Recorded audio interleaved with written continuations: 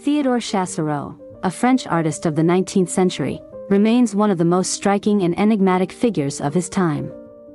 His works combine romantic sensibility and classical perfection, creating a unique style that still inspires artists and art historians. I am very grateful to everyone who subscribes to the channel, comments, shares videos with friends and likes them. Your activity makes a great contribution to the development of the channel and inspires me to new creative achievements. Only thanks to you we can constantly improve. My sincere respect to you from the bottom of my heart.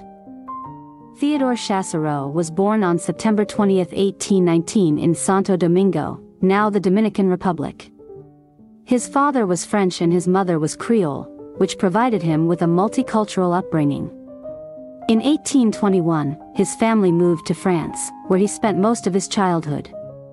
At an early age, it became apparent that Chassériau had an extraordinary artistic talent. His mother, noticing this, encouraged the development of his abilities, and at the age of 11, Theodore became a student of Jean-Auguste Dominique Ingres, one of the most prominent artists of the time. Ingres, impressed by the young student's talent, took him under his wing and helped him develop his technical skills and classical approach to art. Studying in Ingres's studio became a defining stage in Chassériau's life and work.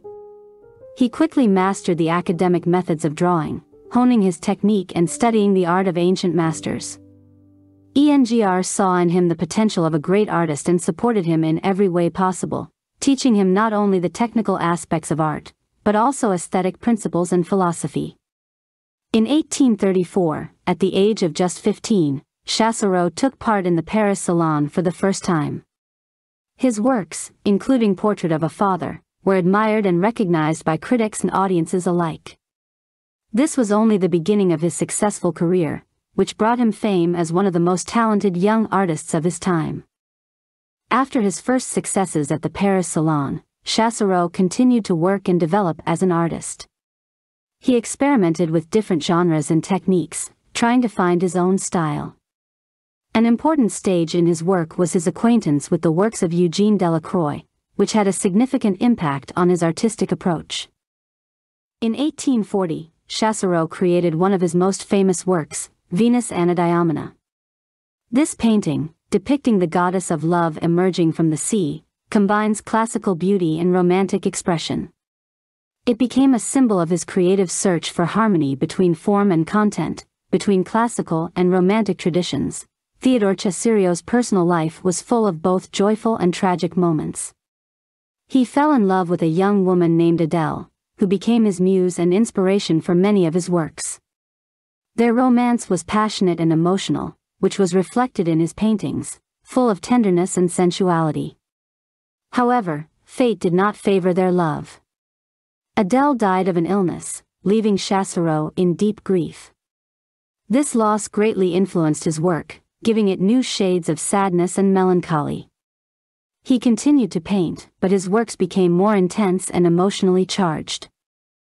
The last years of Chassériau's life were filled with both creative achievements and physical and emotional difficulties.